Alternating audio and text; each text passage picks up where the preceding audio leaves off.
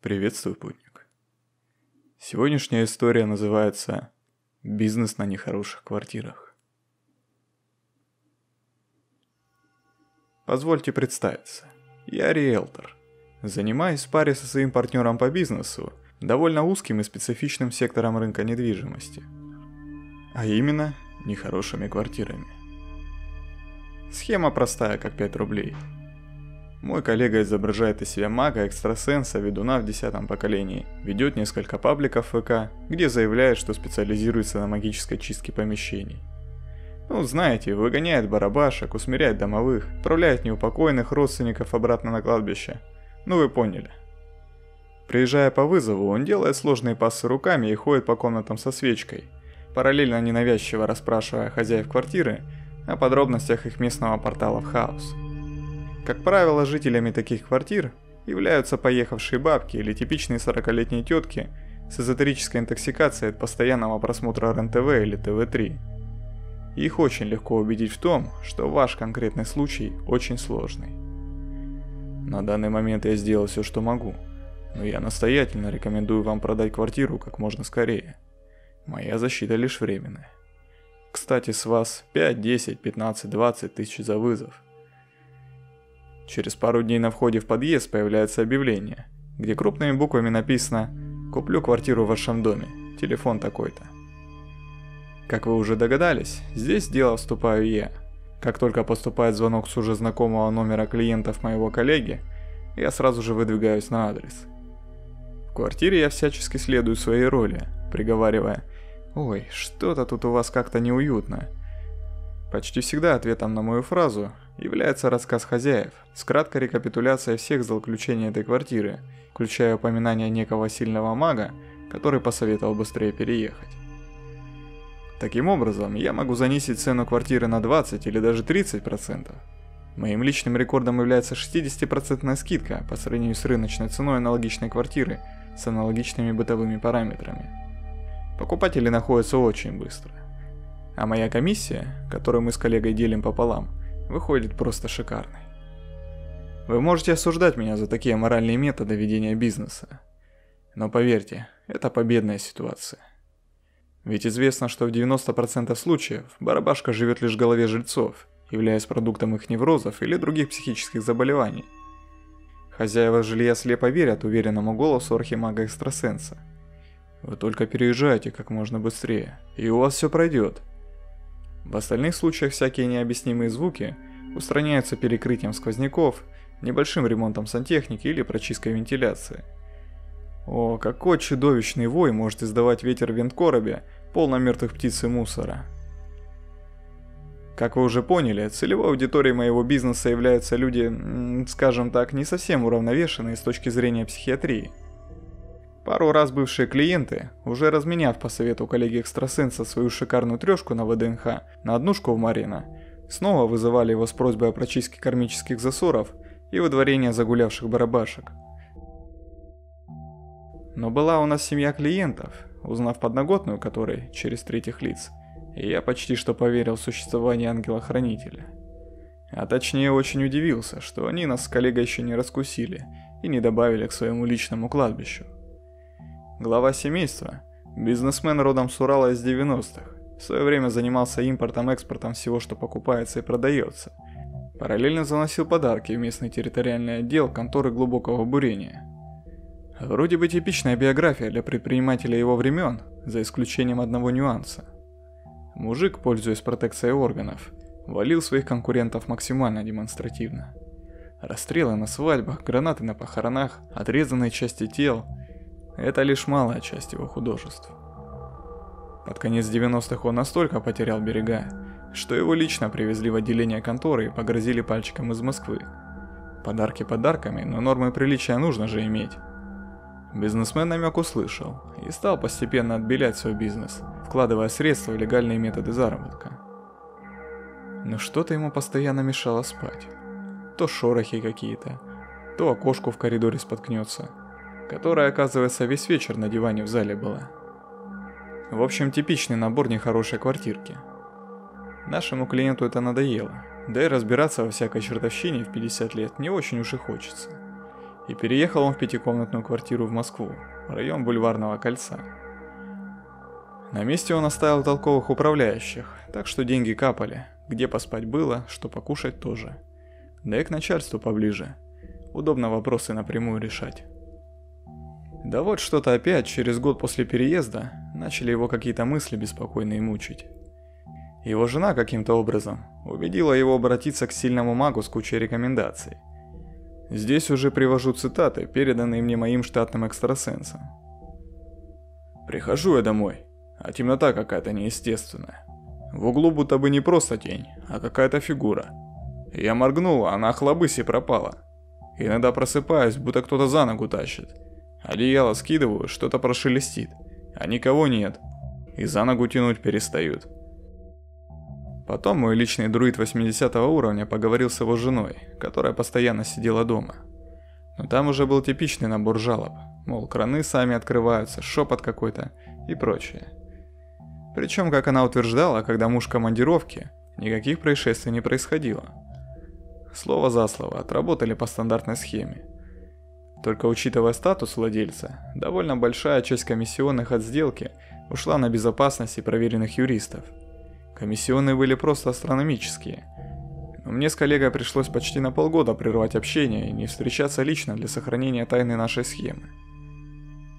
Примерно спустя полгода коллега получает звонок от того мужика и просьбу приехать почистить квартиру. Видно, что-то с собой принес. Сразу мы не рискнули обрабатывать их второй раз. Так что коллега вновь поводил свечкой в воздухе, скорчил сложную гримасу, взял жалкие 50 тысяч как чаевые и порекомендовал успокоения ради немедленно выкинуть все вещи, которые не перевезли со старых квартир, особенно с той, что была в провинции. Вроде бы это помогло им на три месяца, но тут коллега получает звонок снова, со словами «Оно вернулось, что делать?». Далее со слов хозяев. Посуда стала греметь еще громче, свет начал выключаться сам. Но только в те моменты, когда глава семейства находился дома – мой друг взял паузу на пару дней на подумать, перед тем, как выехать на точку. В это время мы с ним решали, что делать с такими приставучими клиентами. Очевидно, что этот успешный бизнесмен немного начинает ехать крышей на почве своей бурной молодости. Решили поступить таким образом. Коллега съездит и снова порекомендует скорейший переезд, так как квартира уже была ранее загрязнена энергетикой старых вещей. А насчет отработки схем с продажей я договорился разрулить с одним своим коллегой по цеху, чтобы самого себя во второй раз не светить. Ему незачем было знать о всей схеме. Просто за довольно солидный процент от комиссии я дал ему адрес и обрисовал в двух словах ситуацию. Мол, беспроигрышный вариант. Согласятся на любую цену. Молниеносная сделка. Денег у них немерено. На то мы порешили. Сделка и оформление, кстати, прошли действительно молниеносно. Съездив отдохнуть в Аргентину на два месяца и вернувшись в Москву, я решил позвонить коллеге. Спросить, на что он свой гонорар решил спустить. Но реальность превзошла все мои ожидания. Как только вставил российскую симку в свой телефон, он тут же выдал несколько пропущенных за вечер с номера коллеги. Я сразу же ему перезвонил. Трубку он взял моментально. Эмерик, помнишь наших клиентов? Ну того, полубандита. Здесь стоит отметить, что после крупных сделок мы не только старались не встречаться лично, но даже созваниваться старались пореже. А сейчас был звонок с его личного номера, да еще и с обсуждением клиента в первых словах. Видимо, случилось что-то действительно серьезное. Тем более голос коллеги был каким-то дрожащим. Я сделал глубокий вдох и ответил. Примерно вспоминаю. Кто-то где-то когда-то был. Мой смешок получился довольно натянутым. Мне неделю назад звонила его жена. Сказала срочно приезжать и чистить квартиру после покойника.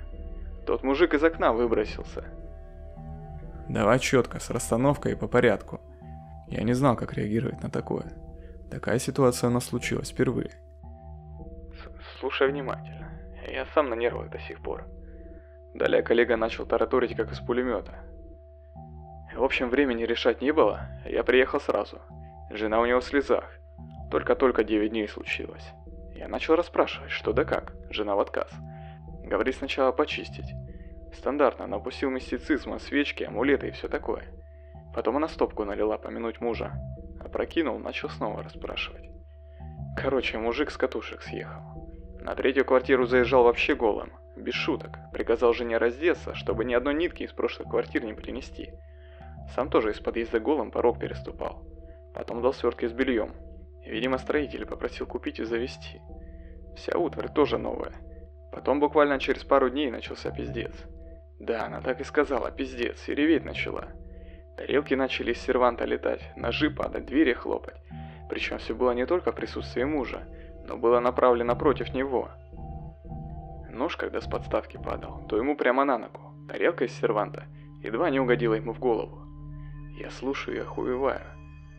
Они, похоже, на пару ёбнулись. В один из вечеров муж прибежал в спальню весь нервный, без конца повторял «Колывановы пришли, Господи помилуй». На вопросы не отвечал, только по квартире бегал, про тени говорил. Саму жену из дома выгнал, дал 20 тысяч на отель со словами «Пережди, пожалуйста, они за мной». Ее возражения не слушал. Силой вытолкал и пальто уже через дверь в подъезд кинул. Она охуела с такого, скорую вызвала, но и ментов. Выходит во двор машины встречать.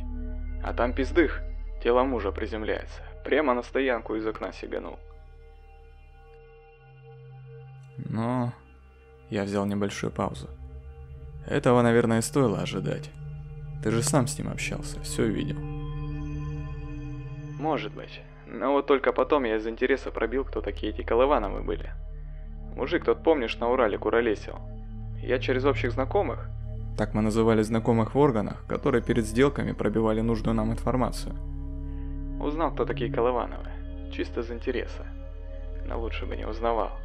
Оказывается, в те времена кто-то жег заживо в подвале частного дома, в городе того мужика, целую семью предпринимателя. Кто жег, неизвестно, дело глухое было. Мужик был одно время под подозрением, как заказчик, мотив был конкурентом, но ничего доказать не смогли. Даже до суда дело не дошло. Развалилось на стадии следствия. Короче, слушай. Я вдову расспросил. После самоубийства вообще все прошло. Ни звуков, ни теней, ничего. Она меня подстраховываться вызывала и пока что тихо, не звонит больше. Денег дала за последний вызов просто дохуя. Твоя доля там есть, сейчас перечислю. Если она снова будет мне звонить, то я думаю просто дам ей телефон психотерапевта доверенного. Обрисую ситуацию. Пусть уже ей самой нервы лечит. После череды комиссий с квартирных сделок с тем мужчиной, я заработал себе достаточно денег, чтобы как минимум два года ничего не делать. Но меня гложет лишь один вопрос. Если он действительно был сумасшедшим, которого мучили кошмары из прошлого, что вполне логично, то почему жена утверждала, что тоже видела всю эту чертовщину?